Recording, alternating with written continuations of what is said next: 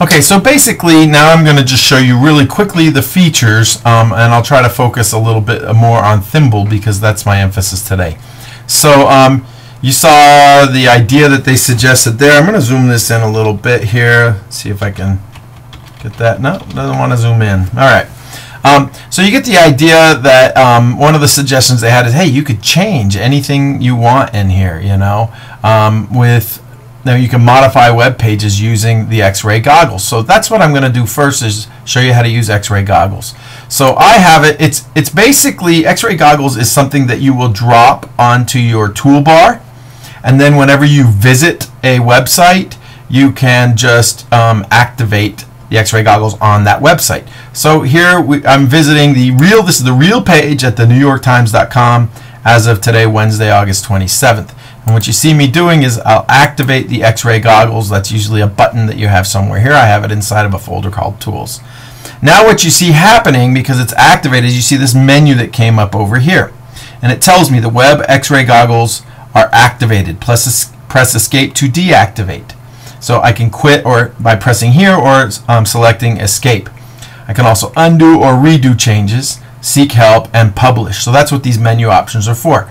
But basically what we can do is this, this right here is an image. You saw when I clicked, well, let me go back in here. When I go over any parts of the page in here, the pages are just simply elements, okay, that are written in HTML code that are, um, you know, that are written, and you can see that they're they're they have these brackets. These are called opening and closing brackets, okay, and and the bracket types tell it, you know, like this is a header, a header 2 type, okay, of a bracket. Well, anyway, brackets are, um, each, each element is really what we're looking at here. So let's say I want to change, um, you know, this headline here. So what I can do is I just highlight the element that I'm going to want to modify and click. And once I've clicked, then it's going to bring up what, what the source code is for that. So you can see over here, this is what it looks like, and there is actually a couple different things that are going on in here, two different classes of elements here. So I'm going to just change to readers respond to the beauty of Dan Thomander's writing. Okay?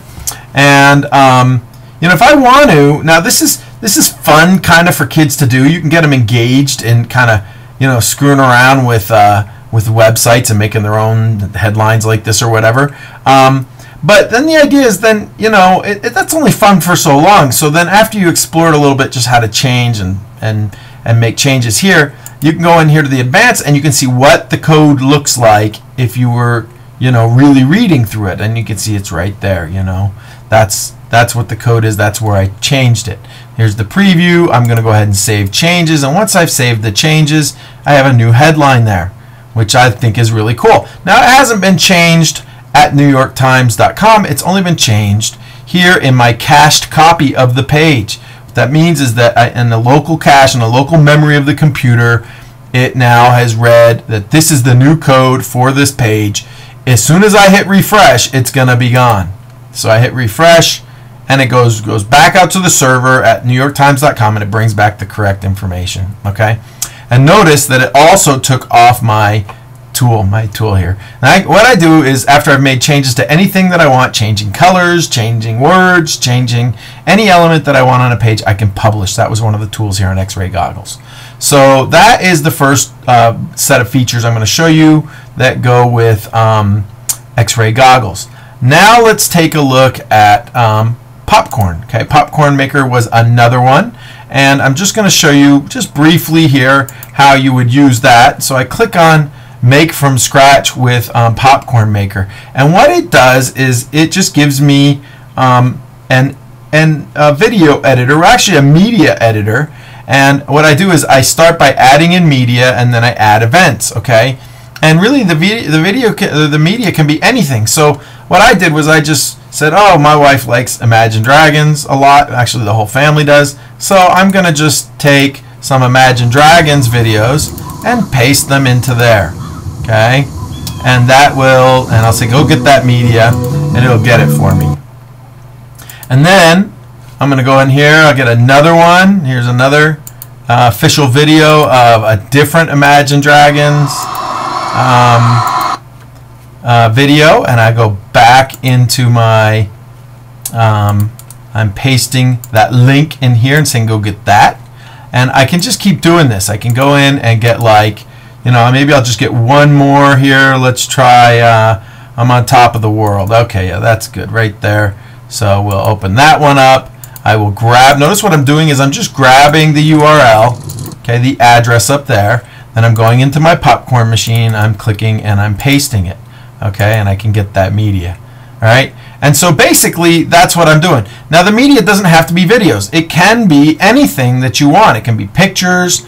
Um, you see in here that you can, you can, um, you have tools that, you know, suggest you can bring in uh, Vimeo, YouTube, SoundCloud, uh, different different types of um, media that's out there, and you can import it. Okay, and it goes over here, and then what you do is you just pr press the plus button, and it puts it in there for you. And as you add, you see that you get different layers of it here. So kind of what's cool is to take the video. It's the next step here and try trimming it. So that is really just, you know, simple. I just I just scroll to the left here. Let's uh, go back there. We want to go back a little bit earlier. And over here is the zoom feature so that I can see more or less of my video at a time. And that's what I'm going to do. So this will be a little like mix that I'm going to make. Drop the beginning part of this video because I only really want oh about 30 seconds. In fact, another way to do this really simply is over here. Now that I have that track I uh, selected, you see that I can put in here and say, give me, oh, come in at 30 seconds, um, so 0 colon 30, and go out at 1 colon 30, and that will give me that one minute of track in there. And then what I can do is bring this, uh, let's see, I'm going to highlight this track, and I only want to get a, a little bit of video in here, so how about if I go from, I don't know, 2 minutes to out at 2 minutes and 15 seconds so that gives me 15 seconds of that clip. And then all I can I have to do is just slide it over and line it up so that it goes together. And then over here I'm gonna just do one last one and I'll go for 20 seconds here oops 0 colon 20 start at 20 seconds in and go to 0 colon you know let's see 45 so there's 25 seconds of video there. I can lay that on it. And it will I can add in some extra layers that I might want here and maybe I'll slide these up a little bit. I'll show you why that might be useful or worthwhile in a minute here. Okay I've kind of adjusted these so. But what I can do now is I will add in to these layers some events. Okay so I can add in pictures I can make it loop um, I'm gonna add in text here and when I do you see that I have the ability to edit this text right here. Let me drop that right there. And uh, bring the preview pane where I can see it. And then I can double click in there and just say this band is amazing. Uh, okay. Whatever. Okay I can change the size of it. I can change the location of it. You see me doing this quickly. Uh, I'm not getting it changed now so let's slide this over there where it's definitely in there let's highlight it. There we go. And bring it down. Now maybe I'll put it down here. Okay. So let's uh, do some final you see how easy this is to adjust? We just gonna make a really quick little video and and drag it down. And I think I'll just have those three tracks so it'll just kind of flip like that. Notice when I import those videos by the way I, I have the option of not bringing the sound with it. But personally, I mean, that's kind of, if you look when I click on the video itself, I can just say, just give me the video, no audio, or vice versa, and I can modify the volume. So those are kind of kind of neat little tools. And then, of course, I can preview what it's going to look like. So I've got the preview. You can see now my text is going to come up. I don't know if we'll see it because it's in that black area down there. In fact, we don't. So let's just adjust that a little bit. Yeah, see, we're not seeing it because it's there, but let's let's drag that. Oops. let's drag that up where we can see it in the area up here.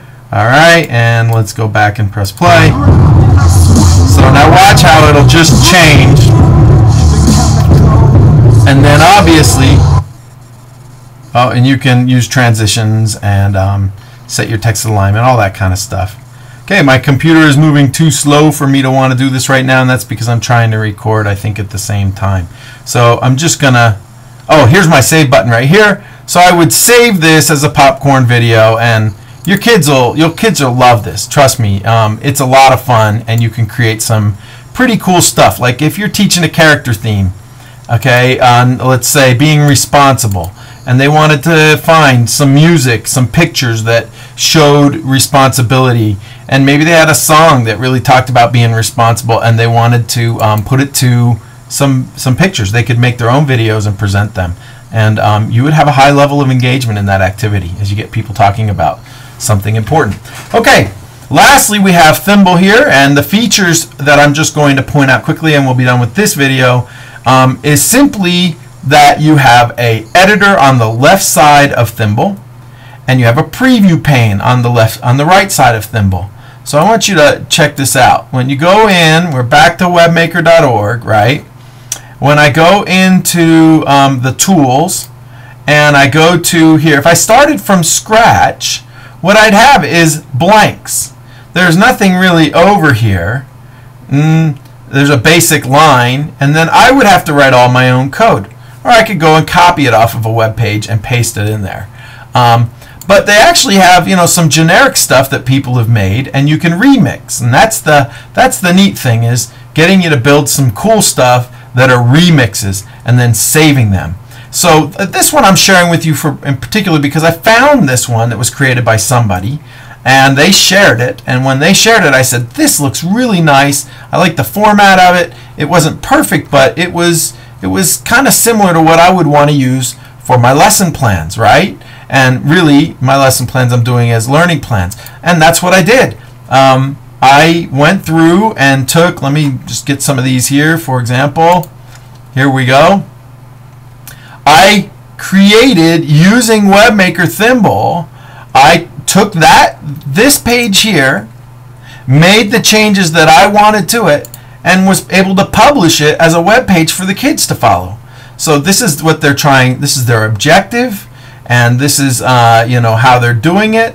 And um, you know I didn't really know a whole lot of HTML when I was doing it but I knew that um, I, I knew that if I edited here so this is the feature I edited here I could see the preview of what I was changing over there and that was extremely extremely powerful okay? Extremely powerful. And of course that's how I really learned a lot more about HTML I knew a little bit but I didn't know very much about HTML now, certainly not as much as I've learned.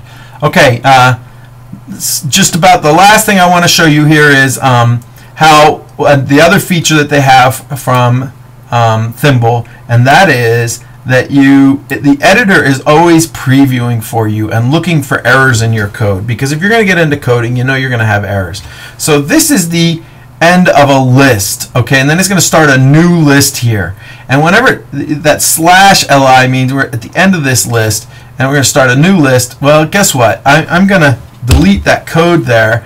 And the editor says, hey, wait a minute. You're on at the end of this ordered list here, because we had an ordered list that's OL here. Moving on to a new section, and there's an error. And what does the error say? It says, hey, you have a closing ordered list tag here. It doesn't pair with the opening list tag here. This is likely due to a missing closing list tag here. So we opened it up somewhere here and we didn't close it. We closed that one, we opened this one, closed that one, but but here at some point up in here, we opened it right there, okay, and we didn't close that one. So we need to, but my point is that the editor recognized that there was an error and it gave me the hint that there was an error and what I should be looking for. And as soon as I fixed the error, did you notice the right side refreshed and um, you know it, it now displayed correctly how things should be. So these are some pretty powerful features for for making beautiful web pages um, and and uh, you know exploring with code without messing things up. And what you would do is you would save your projects you know that you're working on and there again they call them makes in the Mozilla world. They're called makes. So um, you know, and then you would have your makes, which you then can share. We can give out links. Um, you can edit them, make more copies of them. So once I made one lesson for kids, then I could remix that lesson. So that little remix button on there, and I can make a different lesson for kids. Go on to Adventure 4 and then remix it again and you know do Adventure 5, etc. So that's the features of the Mozilla WebMaker tools that I wanted to share with you.